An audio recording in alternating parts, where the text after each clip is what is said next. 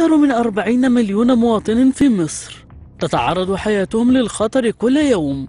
والسبب مسكن عشوائي يفتقر إلى أبسط مقومات الحياة. العشوائيات في مصر قنبلة موقوتة تودي بحياة من يعيش بها إذ يصل عددها إلى أكثر من 1200 منطقة موزعة على محافظات الجمهورية. فالقاهرة العاصمة الحضارية تحتل المركز الأول في عدد العشوائيات بحوالي 81 منطقة تليها محافظة الجيزة التي توجد بها 32 منطقة عشوائية منها ما يحتاج إلى تطوير وأخرى في حاجة إلى إزالة فورية. أرقام تعكس واقعا أليما تعهدت الدولة بتغييره عن طريق إنشاء وحدات سكنية جديدة لقاطن العشوائيات الخطرة. بنتكلم على مشروع إسكان اجتماعي على الأقل ل 600 ألف. بنقول إن إحنا نسلم الجزء الأكبر منه في إبريل القادم. وإحنا بنكلمكم دلوقتي الشركات المقاولات نزلت المواقع عشان تشتغل عشان تعمل ده. هو ده مش عشان خاطر المواطن البسيط والعدالة الاجتماعية للإنسان اللي مش قادر.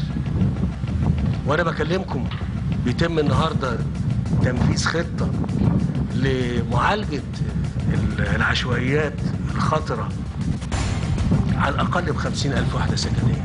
أما صندوق تطوير العشوائيات فاجتمع للمرة الأولى بعد أربعة أشهر من إعادة تشكيله لوضع استراتيجيات تطوير عدد من عشوائيات القاهرة والمحافظات. أما المناطق العشوائية المستهدف تطويرها فمنها سبع عشرة منطقة بالقاهرة. كعزبة الورد وعزبة النخل وعزبة خير الله وسوق الجمعة. سكان العشوائيات مهمشون في الأرض فلا عدالة اجتماعية ولا كرامة إنسانية. في مسكن يفتقد إلى أبسط مقومات الحياة الكريمة. هل ستنجح خطة الدولة في إنقاذهم من ذلك الوضع المأساوي؟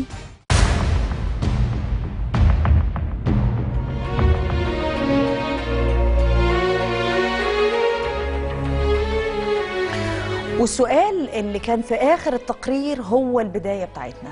هل هننجح في إن يبقى فعلا في تطوير للعشوائيات؟ والتطوير هيبقى بنسبة كام؟ والتطوير قصاده هيبقى إيه؟ دي من ضمن التساؤلات الرئيسية أول ما نقول يا عشوائيات. الموضوع مش بس إن تبقى مناطق عشوائية لا البنى بشكل عشوائي ده المفروض برضه إن هو يطلق عليه مناطق عشوائية. إما يبقى الشوارع صغيرة جدا بحيث إن لو حصل حريقة ولا في مريض ولا عربيه إسعاف ولا عربيه مطافي قادرة إن هي تدخل. النهارده الحريق اللي إحنا تابعناه الحمد لله يا رب. إن كانت عربيات الإطفاء موجود الحريق ده في أماكن ممكن إن العربيات تدخل فيها. لو كان لا قدر الله الحريق في المباني اللي جوه كانت المطافي هتدخل إزاي؟ ما كلنا عارفين الشوارع عاملة إزاي. فالأسئلة دي هي اللي هنوجهها لضيفتنا الكريمة وهي المهندسة سعاد نجيب وكيل الوزارة ورئيس الإدارة المركزية للتخطيط والمتابعة بصندوق تحسين العشوائيات. أهلا بحضرتك. تطوير. أهلا بحضرتك. آه، تطوير العشوائيات وتحسين العشوائيات وإلغاء العشوائيات يا ريت. هنقدر. ولا مش هنقدر؟ إن شاء الله هنقدر. إزاي؟ آه، حضرتك آه، البنى العشوائي آه، نوعين. في نوع خطر اللي هو تم تصنيفه عن طريق صندوق تطوير المناطق العشوائية من 2009 ودي وده عدد وصلنا لحد دلوقتي بعد تطوير مناطق كتير جدا إلى رقم 351 منطقة. خطر اللي. هي إيه؟ المباني قايلة للسقوط يعني؟ آه، جزء منها كده اللي هي قلب المدن القديم لكن الأكثر خطورة هي المناطق اللي موجودة على انزلاقات جبلية اللي هي الدرجة الأولى. مم. المناطق الخطورة الدرجة الأولى. طيب. اللي زي منشية ناصر واللي في مخرات السيول زي اللي في البحر الأحمر وفي أسوان. آه، مناطق الدرجه الثانية اللي هي العشش. آه ودي فيها نوعين اللي هو مبني بمخلفات المواد البناء أو بالخيش أو بالصفيح. أو قلب مدن قديم متهدم زي مثلث ماسبيرو مثلا. آه النوع الثالث طب مثلث ماسبيرو ده إحنا بقالنا 10 سنين بنتكلم على تطوير مثلث لا حضرتك هو سنة ونص بالظبط. لا لا. موضوع لا، الفكرة بتاعه تطوير مثلث ماسبيرو لا دي حضرتك ليها 50 سنة. آه بالظبط. يعني مش- وفعليا بنتكلم عليها على الهوا بقالنا 10 سنين.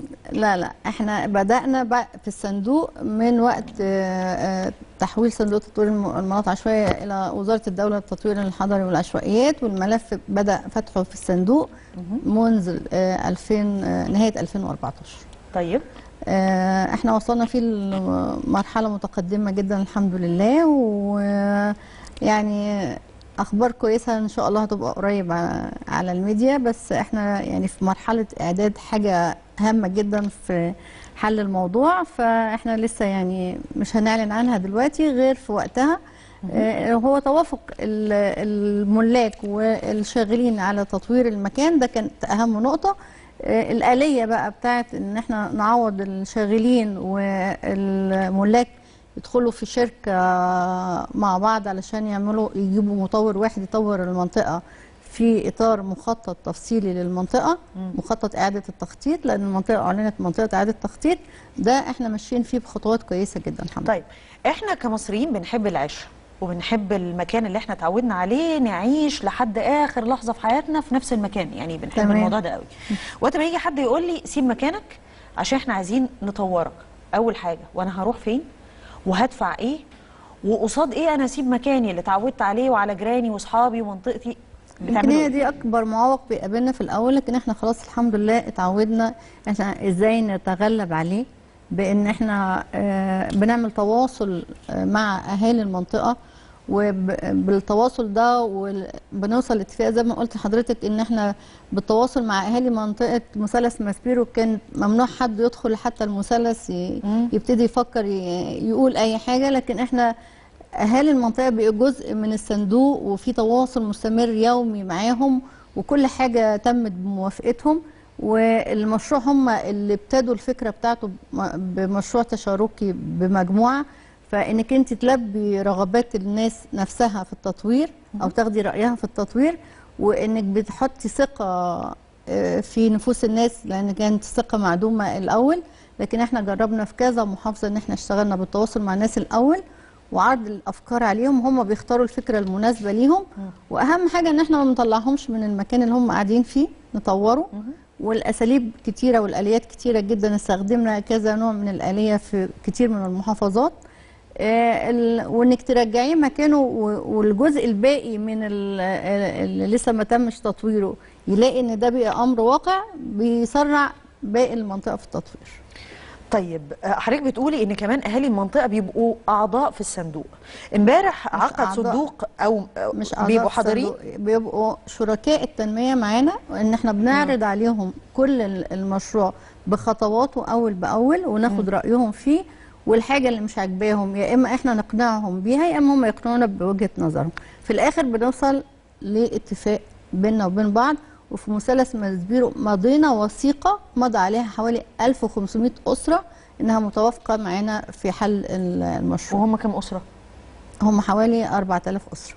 طيب ال 1500 المفروض إن صوتهم معناها يمشي على لا ال- 2500 أسرة مضوا على الوثيقة كتوقيع. 2500 مش 1500 مرة 2500 لكن كان في حاجة اسمها رابطة مثلث ماسبيرو الرابطة دي بتمثل كل الأهالي لأنها من كل الشياخات اللي موجودة في المثلث ودول كانوا هم بينقلوا آه، آه، لأن مش هنقدر نقابل 4500 هم اللي كانوا بينقلوا الصورة للناس ويجوا برأيهم تاني مرة يعرضوه. لما حصل في اختلاف مرة قلنا الصندوق حوالي 500 أسرة بالفعل يعني ممثل عن 500 أسرة وبعد ما انتهينا من العرض هم اللي سرعوا إن هم بيمضوا على الوثيقة. ووقت ما بيحصل تطوير أهالي المنطقة مش هم اللي بيكلفوا حاجة. لا طبعا الأهالي ما بتتكلفش حاجة لكن إحنا بنطور آه، على مراحل وكل مرحلة آه، يا إما الناس بنديهم قيمة إيجارية وبيطلعوا يقعدوا بره لحد ما نبني ويرجعوا.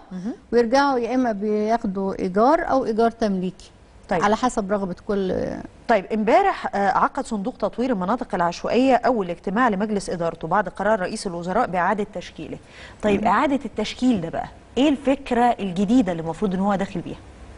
حضرتك إعادة تشكيل مجلس الإدارة لأن رئيس مجلس الإدارة آه، اتغير لأن كانت وزارة الدولة للتطوير الحضري هي اللي بتدير آه، منظومة آه، آه، تطوير العشوائيات. لكن انتقل الملف إلى وزارة الإسكان فأصبح وزير الإسكان هو رئيس مجلس الإدارة وأعادوا تشكيل المجلس. هو مش أعادوا تشكيله بشكل كبير جدا لأن إحنا نعتبر زي مجلس وزراء صغير. إحنا عندنا تسع وزراء أعضاء في مجلس الإدارة وبعض ال- الشخصيات من المجتمع المدني والخبراء. طيب هل في جمعيات أهلية بتتعاون معاكم ولا الموضوع كله آه ده دولة؟ طبعا ده أساسي. ده شيء أساسي لأن إحنا الخطة بتاعتنا في تطوير أي منطقة لازم يبقى فيها شق اجتماعي واقتصادي وبنعمل على آه، صحة المرأة وتشغيل الشباب وتدريبهم والاهتمام بالطفولة والرعاية الصحية ليهم وعدم التسرب من التعليم. حتى بنشاركهم في بعض آه، الأنشطة الترفيهية والرحلات. بنخلي الناس تحس في المنطقة إنها ما بتفرقش كتير عن المناطق ال- الغير عشوائيه المناطق المهتم بيها بشكل كبير. يعني ده آه. ده الصورة اللي أنتوا بتبقوا عايزين توصلوها. بالظبط. وإحنا يعني بندي الطفل حقه زي ما أي طفل في أي منطقة تاني بياخد حقه. مهم. طيب أي المشروعات اللي قريب جدا هنلاقي إن بيتم افتتاحها؟ إن حصل تطوير للمنطقة العشوائية دي؟ حضرتك إحنا بنبني حوالي 15000 وحدة سكنية في منطقة اسمها الأسمرات. لنقل سكان مناطق الخطورة الدرجة الأولى في منشية ناصر ومصر القديمة في منطقة اسمها الأسمرات. الأسمرات دي ثلاث مراحل. انتهت مرحلتين. الأسمرات واحد وهي حوالي 6228 وحده الأسمرات دي مكانها فين؟ في المقطم. آه. عند عباد الرحمن يعني منطقة متميزة جدا قدام مساكن الزلزال. آه المنطقة لو حضرتك آه، أخدتوا الكاميرا ورحتوا سجلتوا هناك حاجة تبهر. مجتمع متكامل. جامع وكنيسة وخدمات ومدرسة ومركز ثقافي ومسرح روماني وكل الخدمات موجودة ال- الترفيهية والثقافية ومدرسة آه، تعليم أساسي ومدرسة س- ثانوي وتعليم صناعي آه، ومركز تدريب حرفي مدينة هتبقى على مستوى وهيسموها مدينة تحيا مصر لكن الأسمرات واحد. تم تمويلها بالكامل من صندوق تطوير المناطق العشوائية بتكلفة حوالي 800 مليون جنيه ومن المقرر إنها تفتتح خلال الشهر ده إن شاء الله. وإحنا بنتكلم على إن المنطقة اللي بسيبها عشان يتم تطويرها وأروح في مكان تاني من حقي بعد كده بعد ما يتم تطوير المنطقة الأصلية إن أنا لو عايز أرجع أرجع. دي لو مناطق آمنة. المنطقة اللي شلتيها آمنة. لكن الم- المناطق اللي إحنا هنشيلها اللي هي الخطورة الدرجة الأولى دي مناطق ما ينفعش ان إحنا نبني فيها تاني. عشان ما يبقاش لا قدر الله بنتكلم على ان حصل كارثة في المنطقة دي. بالظبط يعني زي كارثة الدويقة اللي أنشئ بعدها صندوق تطوير المناطق العشوائية. مهم. طيب وبشكل عام يعني كرصد كده لكل ربوع جمهورية مصر العربية لو اشتغلنا على قدم وساق 24 ساعة في تطوير العشوائيات وكل الناس بقت مركزة في تطوير العشوائيات اللي مختصين يعني بالتطوير. تمام. ممكن على سنة كام كده يبقى ما عندناش عشوائيات؟ ما أنا قلت لحضرتك هي بتنقسم آه، قسمين. لا، كلها الغير على بعضها، كلها الغير على بعضها. ما أنا هقول لحضرتك بس. الغير آمن في استراتيجية معمولة للصندوق إن مصر بلا عشش خلال ثلاث سنوات. يعني على 2019 إن شاء الله نبقى مصر بلا عشش ولا مناطق من الخطورة الدرجة الثانية ولا الثالثة. وإحنا فعلا الاستراتيجية دي تم آه وضعها ووافق عليها مجلس الوزراء وتم عرضها آه بالأمس آه قدام مجلس الإدارة للمناقشة آه إنما المناطق الغير مخططة بتمثل 40% من العمران في مصر. وحضرتك آه، يعني ذكرت منها بعض المناطق المرج آه، عزبة خير الله منشية ناصر آه، كل المدن على مستوى الجمهورية فيها مناطق غير مخططة اللي هو الامتداد العشوائي للمدن.